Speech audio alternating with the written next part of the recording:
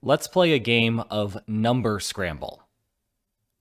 We will take turns choosing a number 1 through 9 that has not previously been taken. The first person to have exactly three numbers add up to 15 is the winner. Thus, 7 and 8 are not winning numbers because those are just two. You need three. Likewise, 1, 3, 5, and 6 are not winning numbers because those are 4. You need to have exactly 3 sum to 15 to win this game. If all 9 numbers have been selected, but no player has exactly 3 numbers that add to 15, the game is a draw. For example, if you went first and took a 3. And then I went second and took 9. And you followed by taking 5. Well, you have 3 and 5, which sums to 8, which means I must take 7 on my turn to prevent you from winning on the next turn. Do you see what you should do from here? If you take the 4, then you have 3 and 4, which sums to 7, which means I would have to take 8 to prevent you from winning on your next turn. But then again, you also have 4 and 5, which sums to 9. Add 6 to that, and you get 15. So by choosing 4 on your previous turn, you've actually forced yourself into a position where there is nothing I can do. You are guaranteed to win from there. From here, Normally, your puzzle would be to think about how to optimally play this game. But not today. Instead, I want you to think about what game we're actually playing.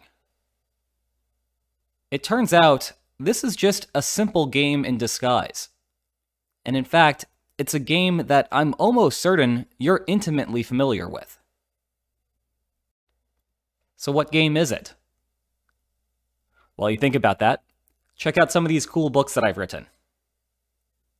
Your hint for today is to think about simple games that you've played before that somehow involve nine different moves available to you.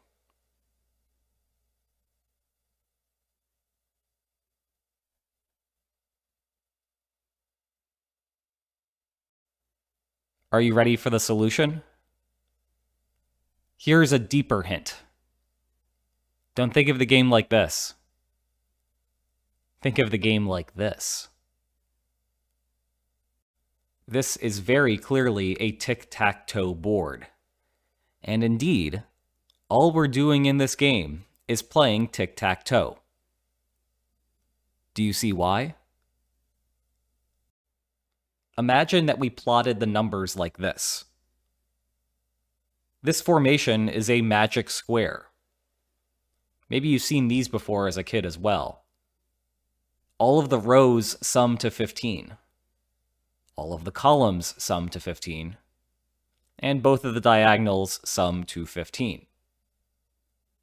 Remember that the goal for this game is to get three numbers, exactly three numbers, to equal 15. It turns out that this is the only way to construct such a magic square. You can rotate it, you can flip it like a mirror, but it's all functionally the same magic square.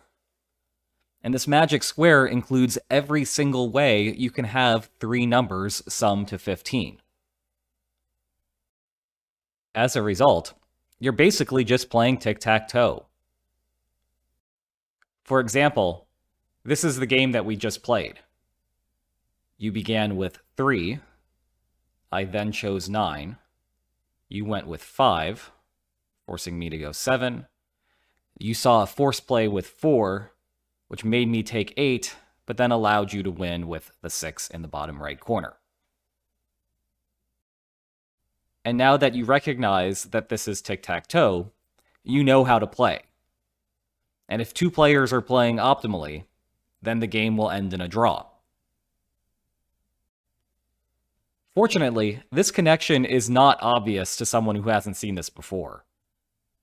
So you could hand someone a card that has 1, 2, 3, 4, 5, 6, 7, 8, 9, all written in order, and have them play off of that while you're playing off the actual tic tac toe board. And you can go many iterations, often winning, sometimes at least forcing the draw, before your opponent will actually catch on that anything is happening here. You might wonder whether you can extend this game to something a little more complicated perhaps have 16 numbers available instead of just 9, and now have the race be to collect 4 numbers total that sum to exactly 34. And yeah, you could do this. Unfortunately, there's no simple way to cheat like there is when we have only 9 numbers. That's because the number of unique 3x3 magic squares, as I mentioned earlier, is exactly 1. 4x4 magic squares are a different story. There are 880 of them. So I cannot give you a simple template on how to play that game. In some ways, it's a little more fair, and maybe you'll be able to play it a lot longer. Did you figure this one out? Let me know in the comments. And if you enjoyed this video, please like, share, and subscribe, and I'll see you next time. Take care.